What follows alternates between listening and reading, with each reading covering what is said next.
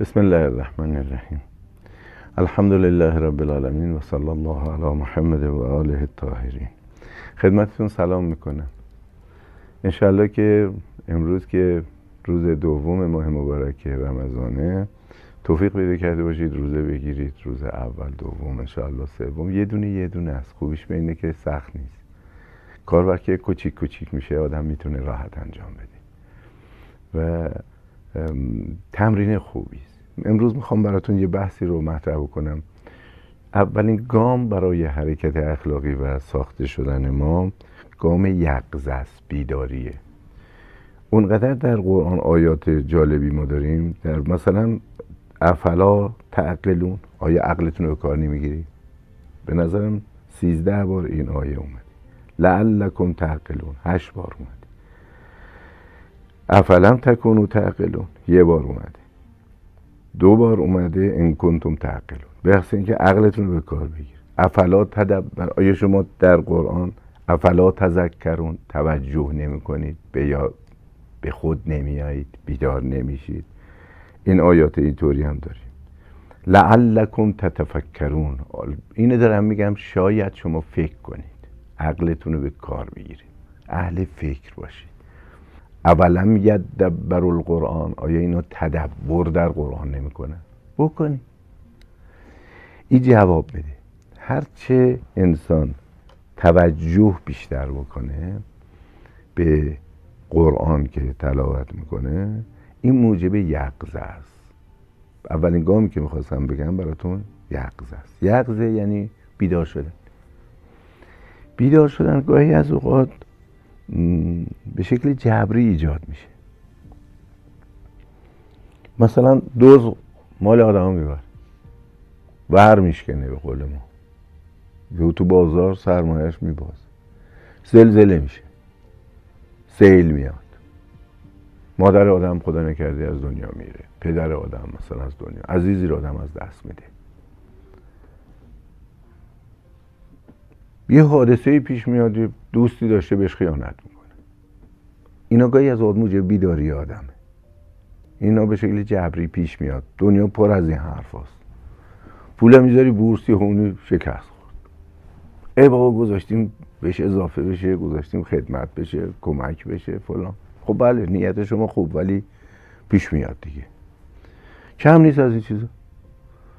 میام تو انتخابات ورود می‌کنه شکست نمیشه اون که ما می‌خوایم نمیشه. گروه ما میبازه. خود من میبازه تو مدرسه درسم هم خوندم نمره نمیارم یهو. دانشگاه قبول نشدم. نمره خوبی نیاوردم. رفتم برای استخدامی تلاش کردم رام نداد. دست من هم نیست. گاهی بعضیش دست ما نیست. اما گاهی از اوقات دست خود آدمه. این ماه که میاد حسنش اینه که دست شما هسته که بخوای بیدار بشی. تو قرآن که می‌خونی تفکر تدبر. اصلا در روایات هم خیلی هست که آیا نمی‌خوای بیدار شی؟ نمی‌خوای خودت بیدار کنی؟ نمی‌خوای از قفلت درایی؟ بد نیست. من الان حدود خودم به نظرم 65 سالم باشه. یعنی وقتش نیست آدم بیدار بشه. حیف وقت تموم شد. درباره یکی از عرفای بزرگه. دوز بود و رئیس دوزای اون منطقه. اینا اومدن برای دزدی و خودش هم در اون دزدی ورود داشت. دوز نبود به تنهایی به ناموس مردم تجاوز می‌کرد. یعنی وقتی میمدن دزدی می‌کردن باید حتما اهل اون قریه اون ده اون روستا مثلا یه دختر خوشگلم بگذارن برای این آقا که بعد بره به عنوان دزد گردن کلفته پدر سوخته. بعد وقتی آمده بود خب صابخونه که بیچاره کاری نمی‌تونست بکنه و اینا سهر پا شد و ناراحت بود که الان میان اموال همه ده رو می‌برن ما رو هم می‌برن دخترمون هم می‌برن چیکار می‌تونیم بکنیم اینا. این مرتبه قرآن رو باز کرد و کرد تلاوت کردن بود چند تا آیه بخون. داشت میخون. جالب بود که دوزم خودش زبان عربی حالیش بود.